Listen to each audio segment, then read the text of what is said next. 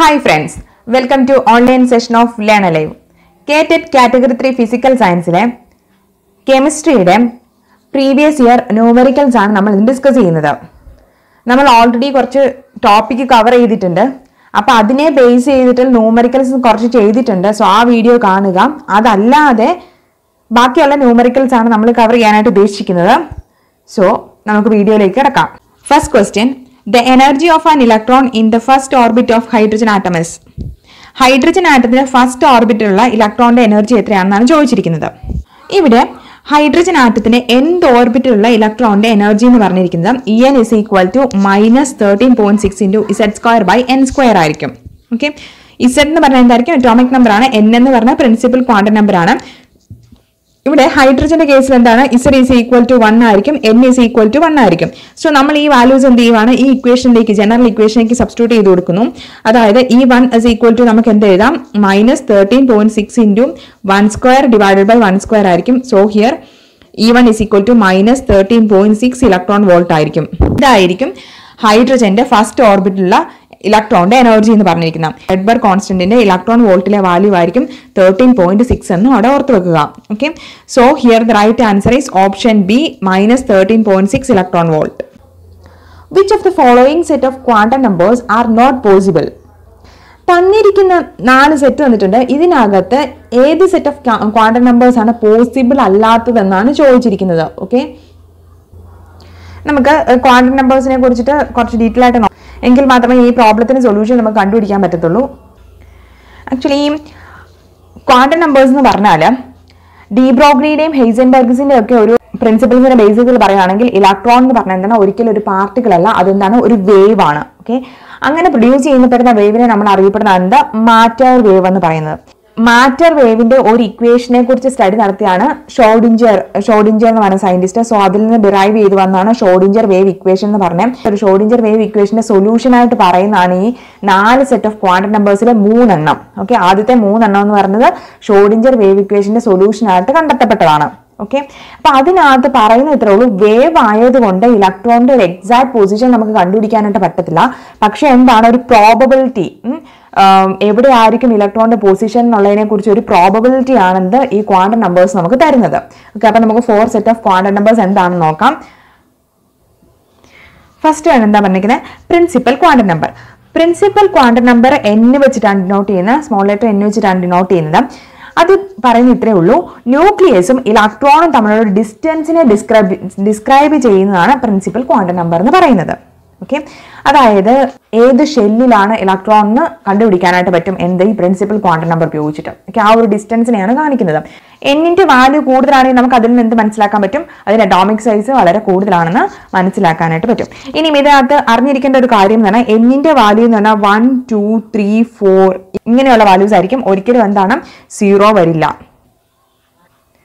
രണ്ടാമത്തേതാണ് azimuthal quantum number. Azimuthal quantum number എന്ന് പറഞ്ഞാൽ അതിന്റെ മറ്റൊരു പേരാണ് orbital angular momentum quantum number എന്ന് പറഞ്ഞിരിക്കുന്നത്. അത് സ്മോൾ ലെറ്റർ എല്ല് കൊണ്ടാണ് ഡിനോട്ട് ചെയ്തിരിക്കുന്നത്. ഈ അസിമത്തൽ ക്വാണ്ടം നമ്പർ എന്ന് പറഞ്ഞു കഴിഞ്ഞാൽ ഓർബിറ്റിന്റെ ഒരു ഷേപ്പിനെയാണ് കാണിക്കുന്നത്. ഓർബിറ്റിന് ഏത് ഷേപ്പാണെന്ന് നമുക്ക് മനസ്സിലാക്കാൻ പറ്റും. അതായത് ശരിക്കും പറഞ്ഞാൽ എന്താ അത് സബ്ഷെല്ലിനെ ഡിനോട്ട് ചെയ്യുന്ന കാര്യമാണ് കേട്ടോ. സബ്ഷെൽ ഏതാണെന്ന് അറിഞ്ഞു കഴിഞ്ഞാൽ നമുക്ക് ഒബ്വിയസ്ലി എന്തായിരിക്കും അതിന്റെ ഷേപ്പ് ഏതാണെന്ന് അറിയാൻ പറ്റൂലോ. ഉം. അപ്പം അസിമത്തൽ ക്വാണ്ടം നമ്പർ എന്ന് പറഞ്ഞിരിക്കുന്നത് എന്താണ്? അതിന്റെ ഷേപ്പിനെ ഷേപ്പിനെ കാണിക്കുന്ന അതുപോലെ തന്നെ എന്താണ്? ഏത് സബ്ഷനിലാണെന്ന് നമുക്ക് മനസ്സിലാക്കാനായിട്ട് പറ്റുന്നുണ്ട്. ഈ അസിമത്തൽ ക്വാണ്ടം നമ്പർ എൽ എന്ന് പറഞ്ഞാൽ ഡിപ്പെൻഡ് ചെയ്തിരിക്കുന്നത് പ്രിൻസിപ്പൽ ക്വാണ്ടം നമ്പറിനെയാണ്. ഓക്കെ? അതായത് ഒരു എക്സാമ്പിൾ നോക്കുവാണെങ്കിൽ എന്നിന്റെ വാല്യൂ ടു ആണെങ്കിൽ എന്നിന്റെ വാല്യൂ ടു ആയിട്ട് വരികയാണെങ്കിൽ എല്ലിന്റെ വാല്യൂ എന്തായിരിക്കും? സീറോയും വണ്ണും ആയിരിക്കും. ഓക്കെ? ആക്ച്വലി ഇവിടുത്തെ കാര്യം എന്തെന്ന് വെച്ച് കഴിഞ്ഞാൽ സീറോ ടു എൻ മൈനസ് വണ്ണിലായിരിക്കും അസിമത്തൽ ക്വാണ്ടം നമ്പറിന്റെ വാല്യൂ അവിടെ വേരി ചെയ്തെന്ന് ഓർത്ത് വെക്കുക. ഓക്കെ അപ്പൊ എൽ പറയുന്നത് എന്നിനെ ഡിപ്പെൻഡ് ചെയ്തിരിക്കും. ഇവിടെ നമ്മൾ കുറച്ച് കണ്ടീഷൻസ് നോക്കുവാണ്. അതായത് azimuthal quantum number L is equal to zero first case L zero ആയിട്ട് നമ്മൾ കൺസിഡർ ചെയ്യുമ്പം അത് ഏതായിരിക്കും? എസ് സബ്ഷെലിനെ ആയിരിക്കും കാണിക്കുന്നത്. അപ്പൊ നമുക്ക് എന്താണ് അത് ഏത് സബ്ഷെല്ലിനാണെന്ന് മനസ്സിലായി? ഇനി എസ് സബ്ഷെൽ എന്ന് പറയുമ്പോൾ നമുക്ക് ഓൾറെഡി എന്തറിയാം? അതിന്റെ ഷേപ്പ് അറിയാതെ സ്പെരിക്കൽ ഷേപ്പിലായിരിക്കും ഓക്കെ അതുകൊണ്ടാണ് എന്തെന്ന് പറയുന്നത്? അസിമത്തൽ ക്വാണ്ടം നമ്പറിലൂടെ ഏത് സബ്ഷെല്ലിലാണെന്നും അതിന്റെ ഷേപ്പും അറിയാൻ പറ്റുമെന്ന് പറയുന്നത്. ഇനി അടുത്ത് എൽ ഈക്വൽ ടു വൺ വരുമ്പോൾ എന്താണ്? അത് പി സബ്ഷെല്ലായി അതിന് ഡബിൾ ഷേപ്പ് ആയിരിക്കും. എൽ ഈക്വൽ ടു ടു വരുമ്പോൾ അത് ഡി സബ്ഷെല്ലായി അതിന് ഡബിൾ ഡബിൾ ഷേപ്പ് ആയിരിക്കും. ഇങ്ങനെയാണ് പോയിക്കൊണ്ടിരിക്കുന്നത് ഇനി വേറൊരു കാര്യം ഓർത്ത് വെക്കാനുള്ളത്. ഇവിടെ orbital angular momentum of an electron ഇലക്ട്രോണിന്റെ ഓർബിറ്റൽ ആംഗുലർ മൊമെന്റം കണ്ടുപിടിക്കാനുള്ള ഇക്വേഷൻ തന്നിട്ടുണ്ട് that is H by two pi into root of L into L plus one ആയിരിക്കും. എച്ച് എന്ന് പറഞ്ഞാൽ എന്താണ്? പ്ലാങ്സ് കോൺസ്റ്റന്റ് ആണ്. എൽ എന്ന് പറയുന്നത് അസിമത്തൽ ക്വാണ്ടം നമ്പർ ആയിരിക്കും. ഓക്കെ എങ്ങനെയാണെങ്കിൽ നമുക്ക് ഒരു ഒരു ഇലക്ട്രോണിന്റെ ഓർബിറ്റൽ ആംഗുലർ മൊമെന്റം കണ്ടുപിടിക്കാൻ പറ്റുന്നതാണ്. നെക്സ്റ്റ് ആണ് magnetic quantum number magnetic quantum number M വെച്ചിട്ടാണ് സ്മോൾ ലെറ്റർ എം വെച്ചിട്ടാണ് നമ്മൾ ഡിനോട്ട് ചെയ്യുന്നത്. ഇതിലൂടെ നമുക്ക് അറിയാൻ പറ്റുന്നത് ഓർബിറ്റലിന്റെ ഓറിയന്റേഷൻ ഓർബിറ്റൻ അല്ലെങ്കിൽ ഇലക്ട്രോണിന്റെ ഓറിയന്റേഷൻ എങ്ങനെയാണെന്നാണ് നമുക്ക് അറിയാനായിട്ട് പറ്റുന്നത്. അപ്പം എത്ര ഓർബിറ്റൽസ് ഉണ്ടെന്ന് നമുക്ക് ഇതിനകത്ത് മനസ്സിലാക്കാനായിട്ട് പറ്റും.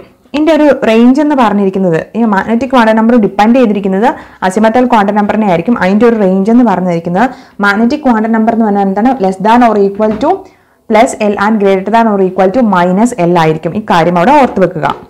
നമ്പർ ഓഫ് ഓർബിറ്റൽസിന്റെ ഗിവൻ സബ്ഷനിൽ ഒരു സബ്ഷനിനകത്ത് നമ്പർ ഓഫ് ഓർബിറ്റൽസിന്റെ കാണാനുള്ള equation two L plus one ആണെന്ന് ഇവിടെ ഓർത്ത് വെക്കുക. ഇവിടെ നമുക്ക് എന്നിന്റെയും എല്ലിന്റെയും എമ്മിന്റെയും വാല്യൂ ഒന്ന് കമ്പയർ ചെയ്ത് നോക്കാം. അതായത് എന്നിന്റെ വാല്യൂ വണ്ണ് വരിക പ്രിൻസിപ്പൽ ക്വാണ്ടം നമ്പറിന്റെ വാല്യൂ വണ്ണ് വരുവാണെങ്കിൽ അവിടെ എല്ലിന്റെ വാല്യൂ എങ്ങനെയായിരിക്കും വേരി ചെയ്യുന്നത്? അസിമത്തൽ ക്വാണ്ടം നമ്പർ വേരി ചെയ്യുന്നത്. Azimuthal quantum number less than or equal to N minus one ആയിരിക്കും greater than or equal to zero ആയിരിക്കും. ആണല്ലോ? സോ അതിന് പോസിബിൾ ആയിട്ടുള്ള ഒരു വാല്യൂ എന്ന് പറഞ്ഞാൽ ഇവിടെ സീറോ ആണ്. ഉം.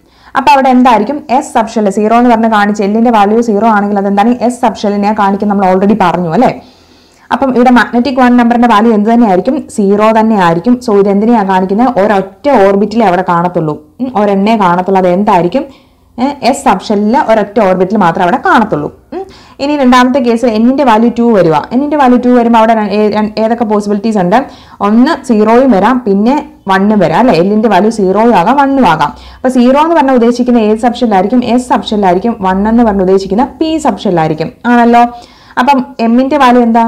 എല്ലിന്റെ വാല്യൂ സീറോ ആണെങ്കിൽ എമ്മിന്റെ വാല്യൂ ഒബ്വിയസ്ലി സീറോ ആയിരിക്കും. സോ അത് എന്തിനെ കാണിക്കുന്നു? ഒരു മേസ് സബ്ഷെല്ലിനെ കാണിക്കുന്നുണ്ട്. ഓക്കെ അപ്പോൾ ഇവിടെ എത്രയായിരിക്കും? ടു എസ് ഓർബിറ്റൽസ് ആയിരിക്കും ഉണ്ടായിരിക്കുക. ഇനി പി വരുമ്പോഴത്തേന് എന്താ സംഭവിക്കുന്നത്? അതിന്റെ വാല്യൂ അതായത് എൽ ഈക്വൽ ടു വൺ വരുമ്പം എമ്മിന്റെ വാല്യൂ എന്തൊക്കെയായിരിക്കും? മൈനസ് വൺ സീറോ വൺ ഈ മൂന്ന് പോസിബിലിറ്റീസ് ഉണ്ടല്ലോ. സോ നമുക്ക് എങ്ങനെ അതിന്റെ ഓർബിറ്റൽസിനെ റെപ്രസെന്റ് ചെയ്യാം? എത്ര എണ്ണം വരും? മൂന്നെണ്ണം വരും അല്ലേ? ടു പി എന്ന് പറഞ്ഞിട്ട് മൂന്ന് ഓർബിറ്റൽസ് വരും. ഇനി അടുത്ത കേസിൽ N is equal to three വരുമ്പോൾ എന്താ സംഭവിക്കുന്നത്? അവിടെ വാല്യൂ സീറോ വരാം. വണ്ണ് വരാം ടു വരാം. സീറോ എന്ന് പറഞ്ഞാൽ എസിനെ കാണിക്കുന്നു പി എന്ന് വൺ എന്ന് പറഞ്ഞാൽ പി എ കാണിക്കുന്നു ടു എന്ന് പറഞ്ഞാൽ ഡി എ കാണിക്കുന്നു. ഓക്കെ അപ്പൊ ഈ കേസിൽ എന്താ വരുന്നത്? എമ്മിന്റെ വാല്യൂ ഇവിടെ സീറോ തന്നെ ആയിരിക്കും. അതായത് എല്ല് സീറോ ആണെന്ന കേസിൽ എമ്മും സീറോ ആയിരിക്കും. സോ ഇവിടെ എന്തായിരിക്കും? ആദ്യം ഒരു എസ് ഓർബിറ്റൽസ് ഉണ്ടായി. എസ് സബ്ഷനിൽ ഒരു ഓർബിറ്റ് ഉണ്ടായിരിക്കും. ഇനി അത് കഴിഞ്ഞാൽ പി വരുമ്പോഴത്തേന് എന്തൊക്കെയാണ് വാല്യൂ വരുന്നത്? മൈനസ് വൺ സീറോ വൺ മൂന്നെണ്ണം വരും അല്ലേ? സോ നമുക്ക് ത്രീ പീനെ എങ്ങനെ റെപ്രസെന്റ് ചെയ്യാം? ഓക്കെ ഇതായിരിക്കും ത്രീ പി എന്ന് പറയുന്നത്. ഇനി അടുത്ത കേസിൽ എന്താണ് വരുന്നത്? ഏതൊക്കെ വാല്യൂസ് വരാം? Minus two minus one zero one two ഇപ്പം എത്ര എണ്ണം ഉണ്ട്? അഞ്ചെണ്ണം ഉണ്ട് അല്ലേ? സോ നമുക്ക് ത്രീ ഡി എ എങ്ങനെ റെപ്രസെന്റ് ചെയ്യാം? ഓക്കെ ഈ അഞ്ചെണ്ണമായിട്ട് ത്രീ ഡി എ നമുക്ക് റെപ്രസെന്റ് ചെയ്യാനായിട്ട് പറ്റും. അപ്പോൾ ഇങ്ങനെയാണ് ഈ ക്വാണ്ടർ നമ്പേഴ്സ് അനുസരിച്ച് നമുക്ക് ഇതിന്റെ അറേഞ്ച്മെന്റ് മനസ്സിലാക്കാൻ പറ്റുന്നത്. ഇനി അടുത്തത് സ്പിൻ ക്വാണ്ടർ നമ്പർ അതെന്താണ് എസ് എന്ന് പറഞ്ഞ ലെറ്റർ വെച്ചിട്ടാണ് ഡിനോട്ട് ചെയ്യുന്നത്. അതിന്റെ values plus one by two minus one by two ആയിരിക്കും. ഇത് ഒരു ഇലക്ട്രോണിന്റെ സ്പിൻ ആംഗുലാർ മൊമെന്റം ആയിരിക്കും കാണിക്കുക എന്നുള്ളത്.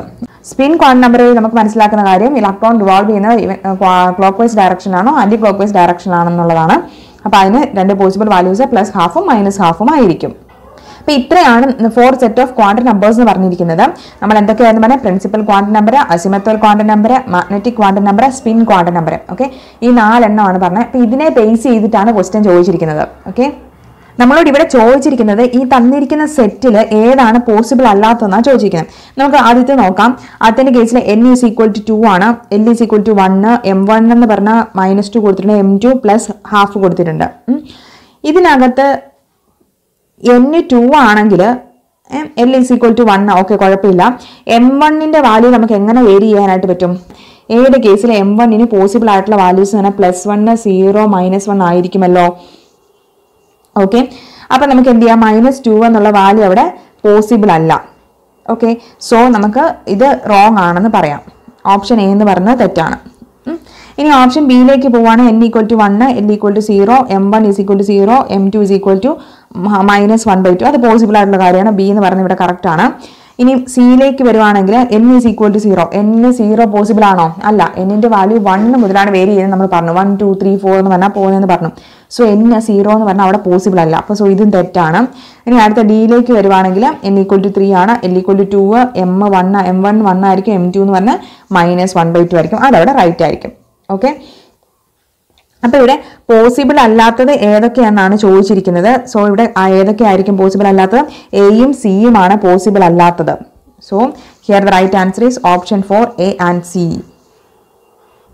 next question the correct relationship between the average between the average kinetic energy and av- average molecular speed of helium and N2 at 400 K and 760 mm pressure is.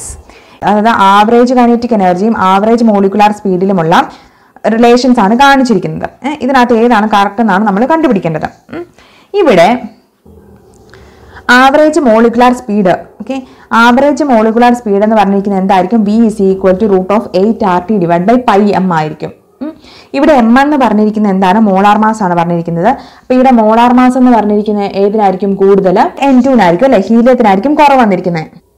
Average molecular speed എന്ന് പറഞ്ഞാൽ ഏതിനായിരിക്കും? കൂടുതൽ ഹീലിയത്തിനായിരിക്കും. കാരണം average molecular speed എന്ന് പറഞ്ഞാൽ inversely proportional to molar mass അല്ലേ?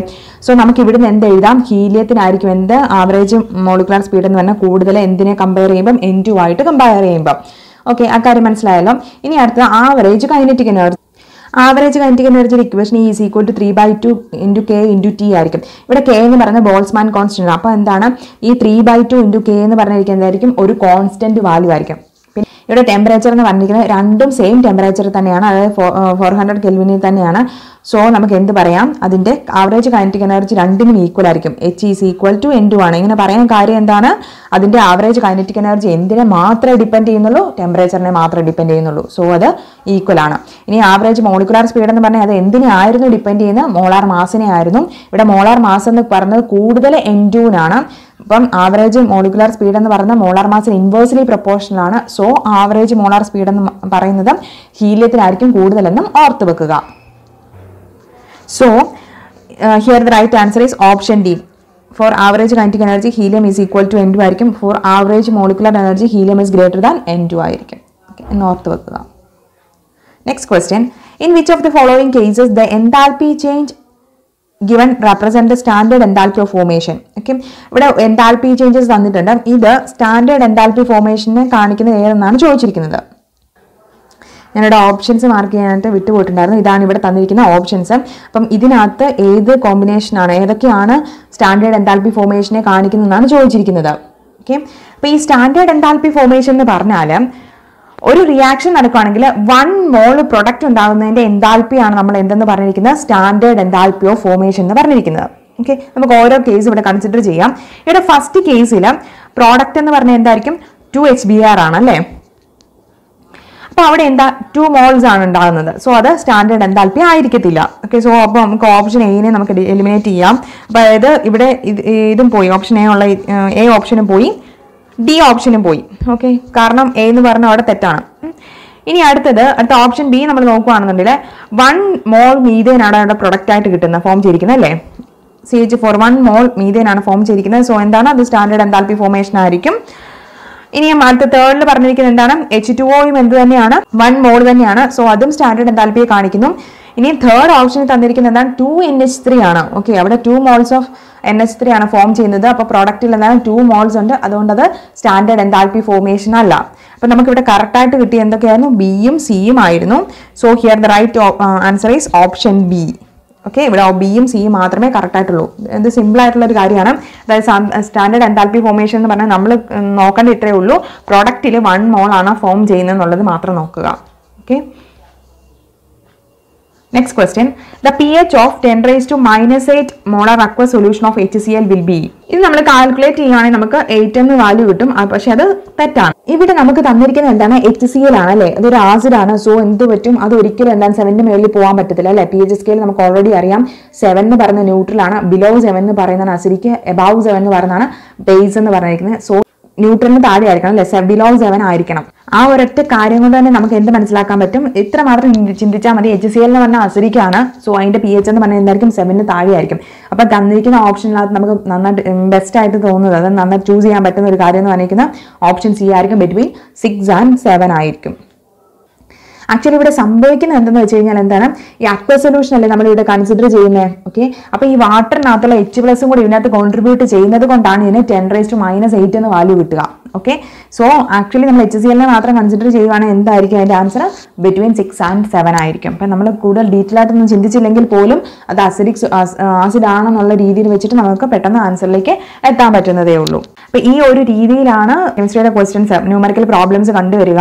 അപ്പം actually കേറ്റിന്റെ question paper നമ്മൾ നോക്കുകയാണെങ്കിൽ അതിനകത്ത് ന്യൂമറിക്കൽ പ്രോബ്ലംസിന് നല്ല ഇമ്പോർട്ടൻസ് ഉണ്ട്. അതുപോലെ തന്നെ മറ്റ് ക്വസ്റ്റ്യൻ തിയറി ക്വസ്റ്റ്യൻ ആണെങ്കിൽ എന്തായിരിക്കും? ചെറിയ രീതിയിലുള്ള ആപ്ലിക്കേഷൻ ലെവൽ ക്വസ്റ്റ്യൻസ് ആയിരിക്കും വരിക. അപ്പം ന്യൂമറിക്കൽസ് നല്ലതായിട്ടൊന്ന് സ്ട്രോങ് ആക്കി വെക്കുകയാണെന്നുണ്ടെങ്കിൽ നമുക്ക് നല്ലതായിട്ട് സ്കോർ ചെയ്യാനായിട്ട് പറ്റും. ഗ്യാസ് ലോസ് റിലേറ്റ് ചെയ്ത പ്രോബ്ലംസും മോൾ കൺസെപ്റ്റിന്റെ പ്രോബ്ലംസ് അതെല്ലാം ഇത് ഓൾറെഡി നമ്മൾ ഇട്ടിട്ടുണ്ട് അതുപോലെ തന്നെ previous year question paper discuss ചെയ്ത കൂട്ടത്തിലും കുറച്ച് പ്രോബ്ലംസ് ഒക്കെ കവർ ചെയ്ത് പോയിട്ടുണ്ട്. അതിൽ പെടാത്ത ക്വസ്റ്റ്യൻസ് ആണ് നമ്മൾ ഇവിടെ സെലക്ട് ചെയ്തിരിക്കുന്നത് സോ ന്യൂമറിക്കൽസിന് ഇമ്പോർട്ടൻസ് നൽകി എല്ലാവരും പഠിക്കാനായിട്ട് ശ്രമിക്കുക. Thank for for watching Learn Alive. See you later.